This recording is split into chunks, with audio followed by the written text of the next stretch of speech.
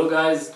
So today I've decided to do a video about uh, the active transport, the facilitated transport, simple diffusion and all of these things.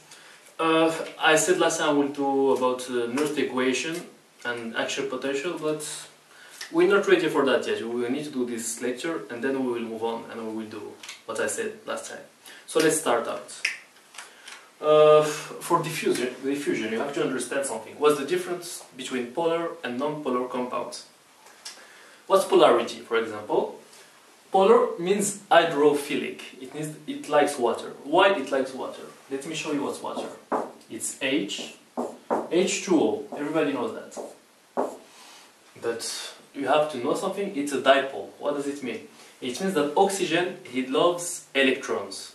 You know that uh, hydrogen, it's one proton and one electron. And this oxygen, it shares this electron with the hydrogen. But the problem is, it likes to take it. So this electron, it goes more like there. You know, it's more, it's more attracted. Like this oxygen is, is hungry for electrons. So he wants to take them all. So you will have this sign it's kind of more electronegative on this side and more electropositive on this side. Which means when you have a lot of molecules of water, what will happen? This positive charge will make bonds. We call them dipole-dipole bonds. That's even hydrogen bonds, it's dipole-dipole bonds. And that's how it works it's not really charged, but it's kind of charged.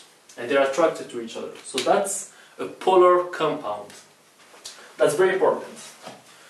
Uh, what's next? So I was talking about diffusion. The, the membrane, it's phospholipids, like this. It takes time to do it, so but I have to with some cholesterol between it, you have even sphingolipid, lipid. We don't care. You have unsaturated fats that is like this, but I will not go into detail. I can do another video about the membrane. That's not what's important. Here it's hydrophilic, uh, hydrophobic. Excuse me. If it's hydrophobic, it means it's not polar, non-polar compound. It means that this tail is hydrophobic and this head is hydrophilic. It's a phosphate head is charged. That's why it's hydrophilic. Because you remember with the, the charge, it will be positive with the hydrogen. Anyway, I think you got it. So when you have the membrane, the phospholipid, you have the head that goes to the polar side, hydrophilic side, and the cytoplasm is full of water. It's 80% of water. So we have the same interaction here between the phosphate and the, and the positive uh, charge. We have phosphatidylcholine, phosphatidylserine, all of very different phospholipids, but that's not the point. Now I'm just getting, uh, giving you the big picture. Uh, anyway, so why am I talking about this? It's very simple. Non-polar compounds that are not charged, like I don't like lipids because lipids they're hydrophobic, they're not charged. Lipids is, is this. It's C with C with C with C with C with C. You have CH3 here. Palmitate is 16 carbon, for example, but it's not charged. So if it had to go through the membrane, it would easily go. It will percolate very easily through the membrane. It will go just like this. It doesn't in the transporter or anything, because most of the membrane is hydrophobic. So the non-polar compound, they go. But this diffusion, it depends on the permeability of this membrane, how big the molecule is, we, we talk about the diffusion coefficient, and how thick is this membrane. If it's very thick, it will have, like it's huge like this, it will have a hard time going through all of it. So that's what happens with non-polar compound. When you say non-polar compound, it means it's not charged and it percolates very easily readily, if you prefer, through the membrane. So let's go now. Why I talked about this? Because you have electrolytes. I was talking about electrolytes like sodium or potassium. when they have to percolate through the membrane, it's not the same. They're very polar. They're, char they're charged, so they can't go through the membrane like the non-polar compound. So they need some kind of proteins, even water. Water, for example, through the membrane,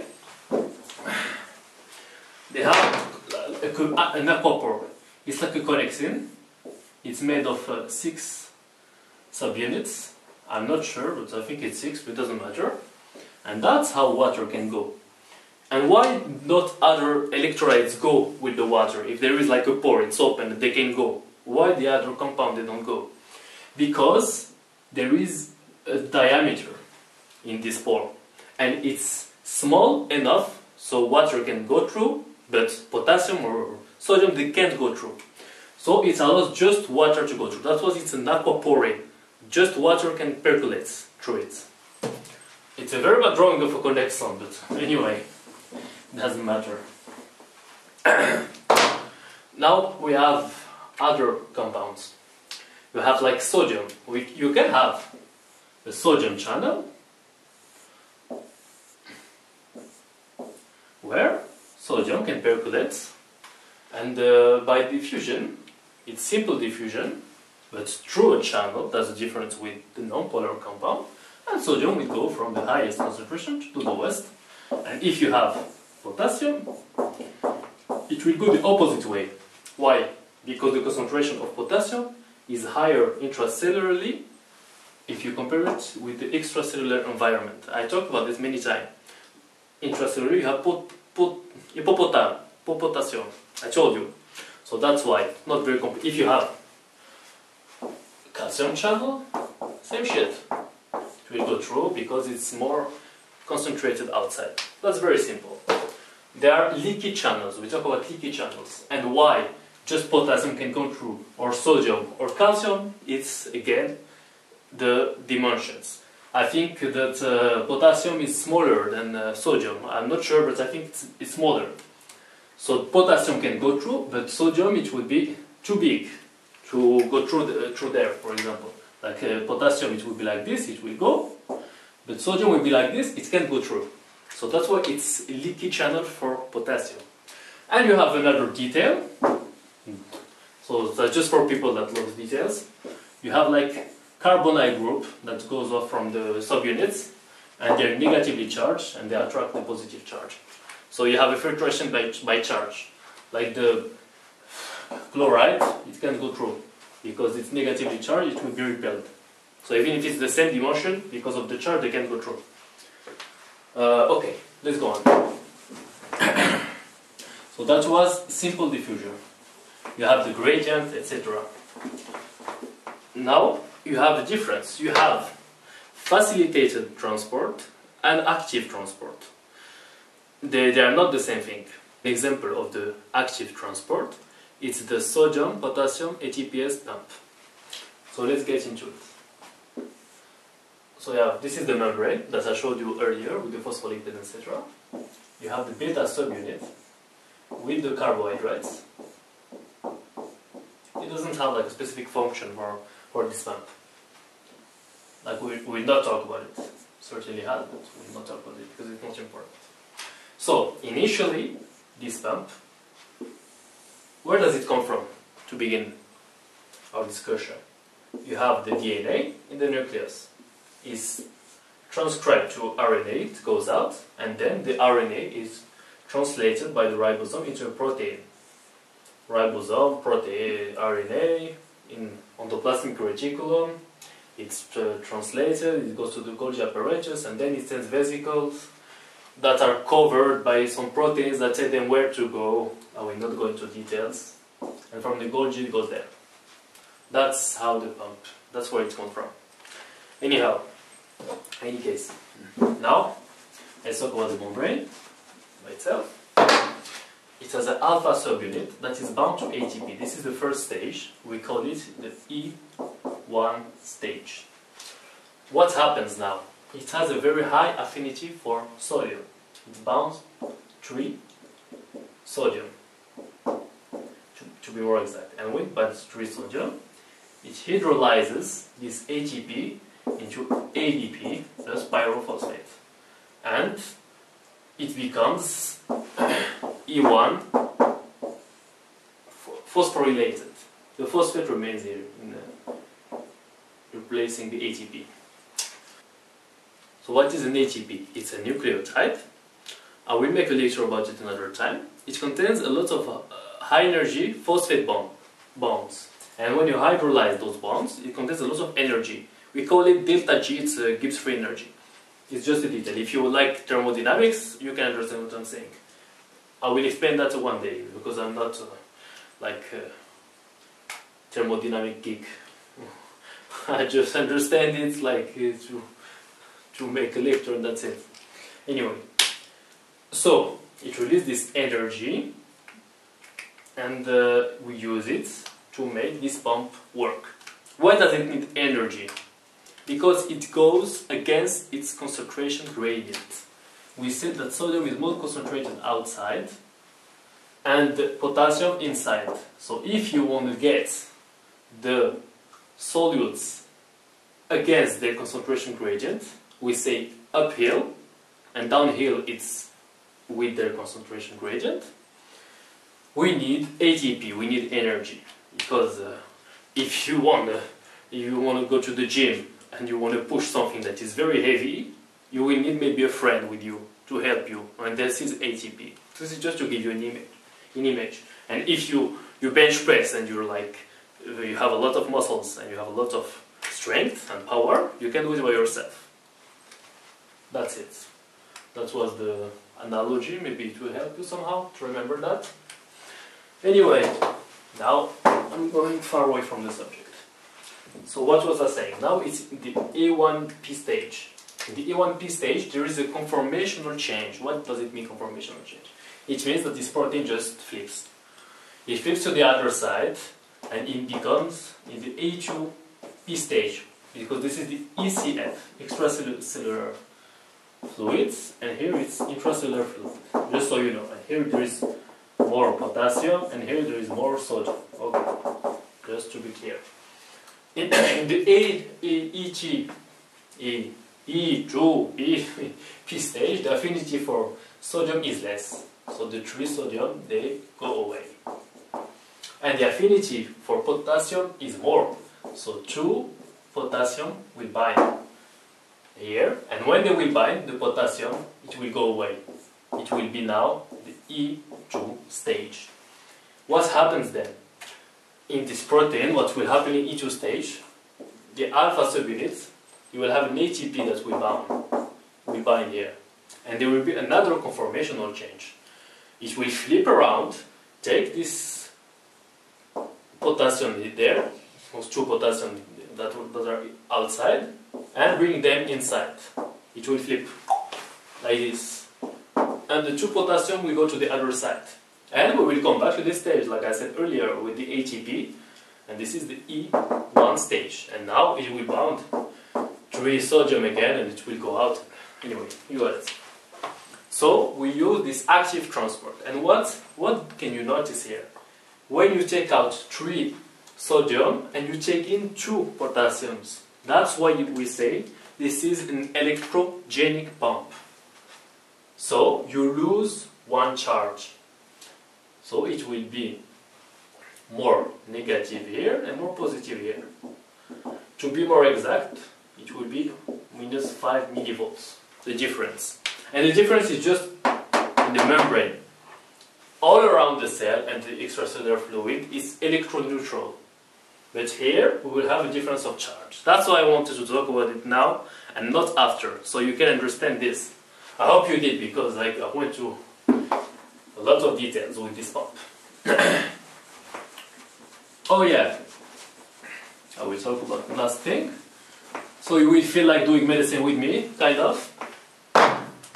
When we go from the E2P stage to the E2 stage, you have here some drugs that can act. They are called, they are the digitalis. You know, you, you use that for the heart. I will explain to you how it works in, in the, in the heart in the next example. You have digitalis like digoxin, digitalis and ouabain. there are some drugs that blocks this this pump, this Na plus oh, 3 sodium, 2 potassium, ATPase. ATPase, why ATPase? Because it hydrolyzes ATP. It uses energy to go against the concentration gradient. That's very important. And it's electrogenic. Because there is uh, more ions that come outside than, uh, the one that come inside. So that's what we use for the heart. Why we use it for the heart, you will know now. Or later, maybe we know something else before. like I said, with aquaporin, there is a simple diffusion. It depends on osmosis. For example, I could have given an example, we do it now. If you have hyponatremia, for example, or let's say hypernatremia, I'd rather give this example. Not to worry, I can do both, but this one is better for you. If you have hypernatremia, nitremia,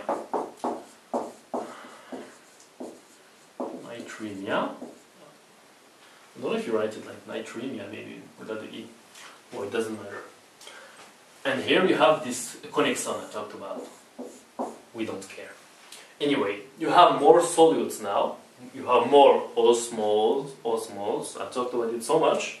You have more osmoles on the other side now. So by osmosis, because this channel is open just for water, because of the dimensions, the water will go there. And if you take too much salt in your diet when you eat, the water will go to the extracellular fluid, then it will, the three quarters will go to the interstitium, and one quarter will go to, the, to your blood. And this one quarter, like if you have natremia that takes 4 liters, 3 liters will come here, and 1 liter will come here. And you will add 1 liter in your circulation, and you will have hypertension. If your disease or your kidney doesn't work, because the kidney that works to take off the extra solutes. That's the point to have a kidney. If you don't have a kidney, you're kind of fucked. Sorry for the word. Anyway, lots of details in this uh, lecture. Now, I, this is simple diffusion. I will talk about facili facilitated diffusion. It looks so much like a French word. I have a hard time saying facilitated, facilitated, anyway. It doesn't matter. The facilitated transport is with glucose. For example, when you take a high carbs meal, uh, meal there is an increase in insulin in the blood and in the muscle and the adipose tissue you have an increase of GLUT4 transporters. There are transport transporters that can only take glucose from the outside and take it to the inside. And this is a facilitated, facilitated diffusion because you have a transporter that can be saturated, like simple diffusion. If we did a graph of simple diffusion, you have the concentration here and the transporter here. Simple diffusion, like the connexin that I talked about, aquaporins it will go like this. The concentration increase, the transport increase. But with this GLUT4, what's more different about it, and all the facilitated diffusion, there is not just with glucose, there is a lot of others. The transport will go like this and like this. It means there will be a Tmax. What does it mean?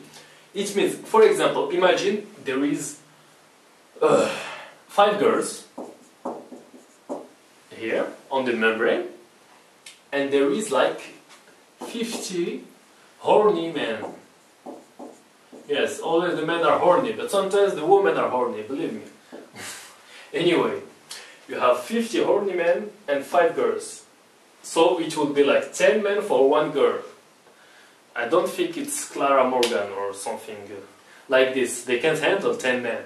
So they will be saturated, they will be at max, and their max will be like two guys for one girl.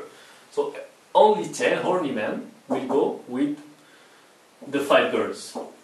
And there will be 40 horny men going around and looking for other girls, and they will come back home, and uh, you know what I mean. so they reach Tmax. In diabetics, there is too much glucose in the blood and it's filtered out, excreted by the kidney. In the kidney, what happens? Here you have a very interesting thing. You have an SGLT transporter on the lumen side. What's the lumen? Like you have the kidney and you have this hole, that's the lumen, and this is the two proximal tubular cells, and there there is the peritubular capillaries. That's what happens in the kidney. Here it's a co-transport of sodium and glucose. It's an active transport tube, but a secondary active. It means that it uses the energy from the Na plus K plus pump that brings out 3 sodium and brings in 2 potassium. It uses this energy of this pump because it creates this gradient for sodium inside the cell. It takes out the sodium, so it creates like a gradient, a stronger gradient. The sodium comes hand by hand with the glucose down its gradient. The glucose is more concentrated here than in the lumen. In the lumen there is more. So it needs kind of energy, but it's not from ATP. It's not from ATP. ATP is used here. Here is ATPase. But this energy that is used to, use, to create this concentration gradient is used by this transporter to take glucose with it A against its concentration gradient because the, so, the sodium is going downhill, like I said, in this in its concentration gradient, but the glucose is going uphill. But it uses the energy that is done from here, here. And when it happens, uh, it comes here, there is a GLUT2 and GLUT1 transporter, and then you have facilitated diffusion. And what happens if you have, uh, again, the 40 horny mans that goes around? Now there is 10 found girls there. And they go, they go, they go, they go, they go. And here, they are grabbed by bodyguards, the SGLT. They come, I have energy, I'm strong. They take it. And then they come here and there is girls again. Let's say 10 girls. You have 10 girls here. Then what happens? We have 40 horny men. Let's say they all go through here. 40 horny men, they go through, they go here. And there is 10 girls. Oh, there is another problem. Just 20 men. 20 horny men, yes. If I begin with that, I can end with it. 20 horny men with the 10 girls. There is still 20 horny men there. What will they do? They will come back to the lumen or they will not go in in the first place. That's what really happens. But anyway, that's just for the sake of the example. They'll come back to the lumen and up they will you will pee them out and this is glycosuria and that's why you pee sugar in di diabetes. Normally, the, those transporters, they don't attain their Tmax. The Tmax is uh, at 300 milligram per deciliter. I'm not sure, but I think it's something like this. So it's three times the normal value. It's good, but if you reach 500 milligram per deciliter, this is a big problem. This is where this, this happens.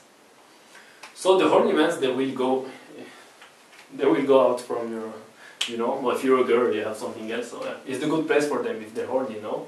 They need to evacuate. so anyway, they go out from there. And you have glycosuria. So I talked about the secondary transport. Now, I fairly talked about it. So I think you got it.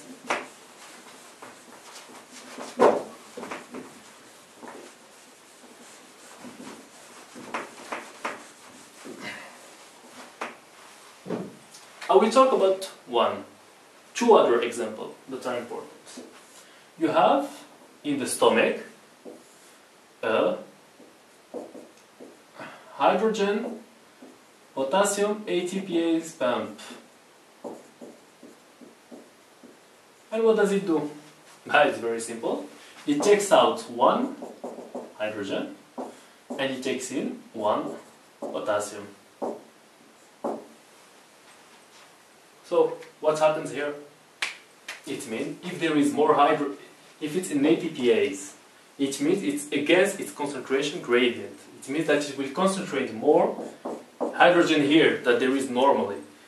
And what is the pH? It's minus log of H plus. So, because it's a minus here, the more you increase the more you increase the hydrogen concentration, the more decreased is the pH and the more acidic it is. You get me now? So that's how the stomach is acidic, and that's where you use uh, omeprazole, for example. Omeprazole, it will block this pump, and you will have less acidity in your stomach. You see how beautiful medicine is. This is real medicine. Now I'm trying to give more examples. Important, for example. Now I will give you a last example, and I will sum up what I said. In this last example, will, I will give you the example of digoxin. I talked about digitalis earlier. So, in the cardiac, cardiac cell, you have the Na sodium potassium ATPase. I hope that you know it now. But you have the secondary transport. I told you that it uses the energy from the first pump for another transport. And here, this is a calcium sodium antiport. What does it mean? It means that the sodium it takes out of the cells, potassium is taken in, so this is like normal active transport. This is secondary active transport. It's here, it will be different. There will be three sodium that will come inside and one calcium that will go outside. Why do you why do I talk about it? Because when there is a depolarization of the ventricles of the, of the atria, there is from the sarcoplasmic reticulum calcium is released. When calcium is released, it binds to the actin side in the tro troponin, and the troponin goes out from the actin, and there is an interaction between the myosin head and the actin. We saw they say it's a cross bridge, and there is a cross bridge cycling. That's the contraction. Anyway, I will do a lecture about that. And this extra calcium is taken out where for relaxation you have to relax. So you have to take off this excess of calcium. So there is a SERCA pump and the SERCA pump is regulated by phospholamban that makes it work even more. When it, phosphor when it phosphorylates uh, the SERCA pump works even more. But this is just detail. When you go into cardiophysiology we'll explain that. It doesn't matter and the SERCA pump, it's an ATPase pump, like the, uh, the Na plus K plus. It works with ATP, it has what E1 state and E2 state too. It's the same. And it takes calcium back to the sarcoplasmic reticulum. But it's not enough. You have to take off this excess calcium. So there is this secondary transport where this calcium is also taken out by this way while using the energy from this pump. And you can notice something, this is electrogenic for one ion, and here it's electrogenic too, because you have one ion that goes out and three that goes in. So it gives more of a positive charge. And in the physio books, we don't talk about it so much. To be honest, they don't talk about it.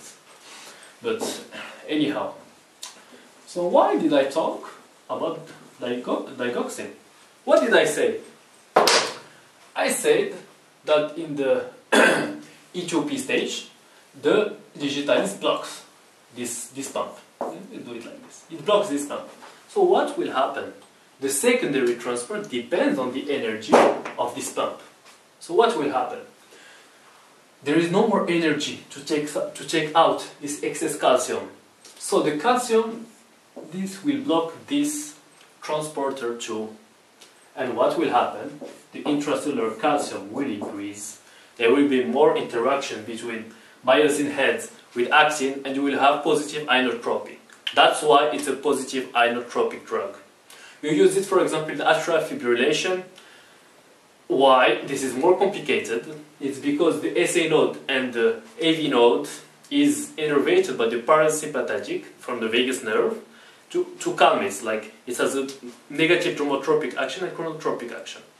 And this digitalis, it works with these pumps, but it works also on, the, on this vagus nerve and it makes it more excited.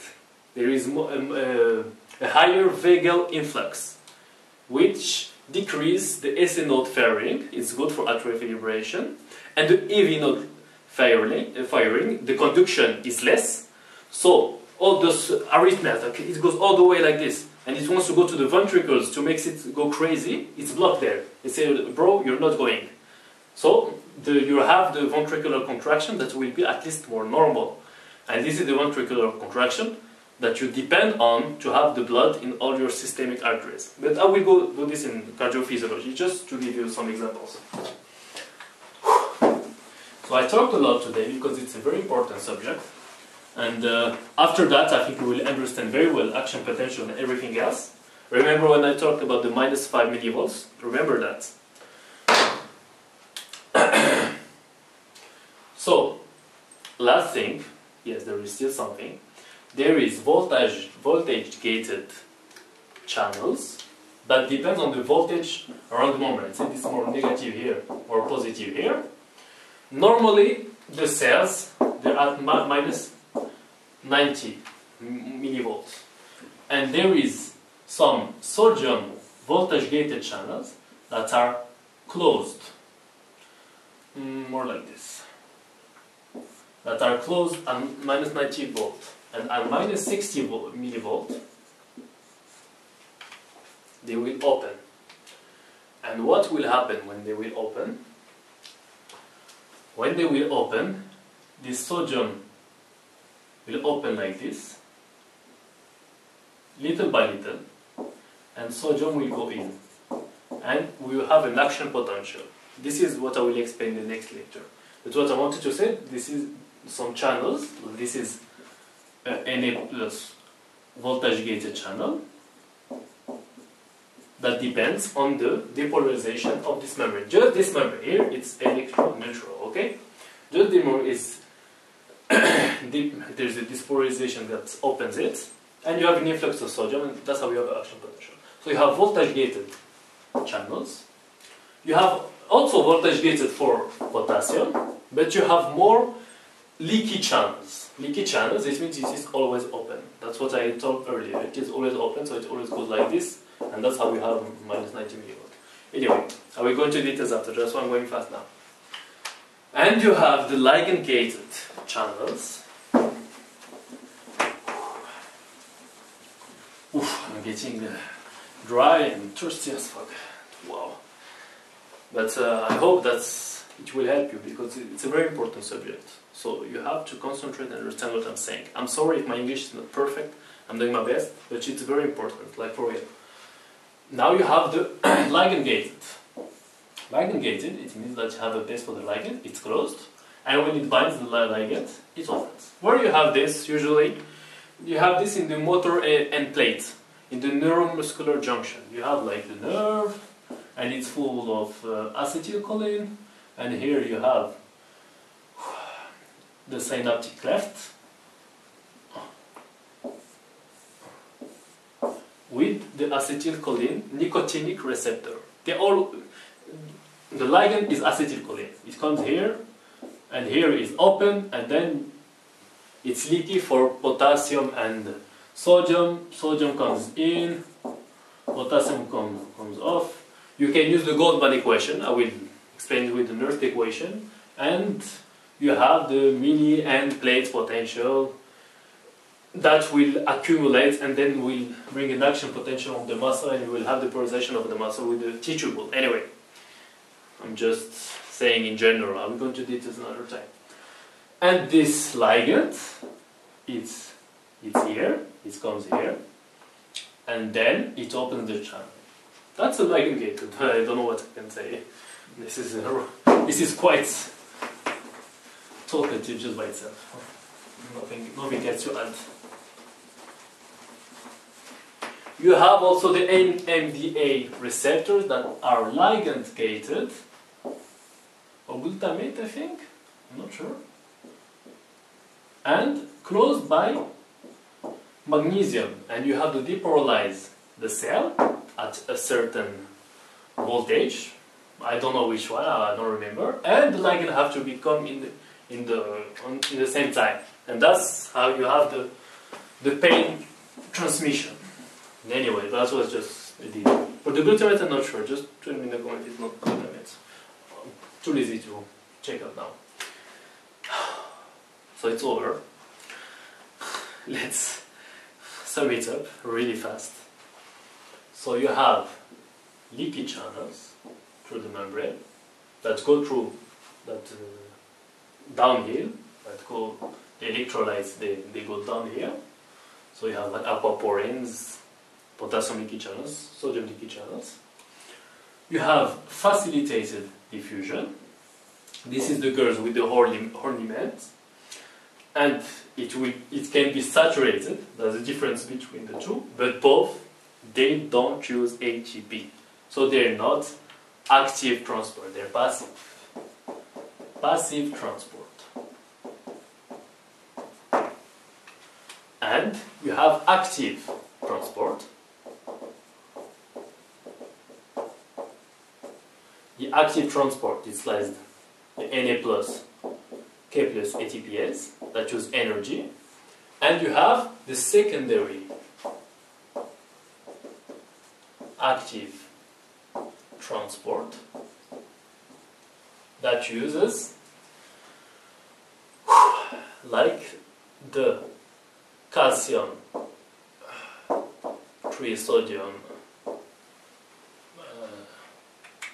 channel that takes off 1 calcium and 3 sodium in. It's secondary active, it uses the energy from this term, I'll explain that. And it's an antiport. It means that one goes to one side and the other goes to the other side. You want you have the symport too. The symport it's the SGLT. Like I said, it takes glucose and sodium. They go both in the same direction. So they are simple. So all these use energy and they, used for polar compound because non-polar compound, I can say this here, non-polar compound, they go here and they depend just on the thickness of the membrane and their molecular weight and things like that. So there are non-polar compound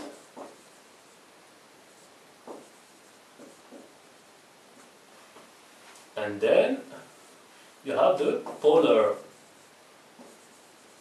compounds that use passive transport downhill and here that they use both. Here, here it used just uphill because sodium it goes uphill against the concentration gradient and potassium is the same, it's more concentrated inside. And the antiport it goes uphill just for calcium, not for sodium because it uses the energy, I said it again. So this is the channel that you have. And I missed it. I tried to be cool, I'm not anymore. And that's what I will use, and now I can talk about Nernst equation, action potential, cardiology. You saw, or the example I gave, I didn't talk about pharmacology. So I can talk about a lot of stuff now. And it will be better for you. Now I told you all the basics. You saw where I used osmosis. I said osmosis, osmosis, osmosis, osmosis, osmosis. I talk about it so much. You saw why now. In the, the example of hypernatremia. It explains to you hypertension. Look, it's fucking important. It's obvious. So I hope you enjoyed this video. For, for me, it took me a lot of time. Just so you know, I do this video on Sunday. Sunday is my rest day because all the other day I'm studying and I have uh, other things to do. So I take from my free time just to do this. It's not just for you, to be honest, I like to teach, but it's both, I like to help too. So I really hope that you enjoy what I'm doing, and I will keep on doing it even if you don't enjoy it, because I do. So I hope that it was helpful for you, and uh, see you next time. Bye bye, goodbye.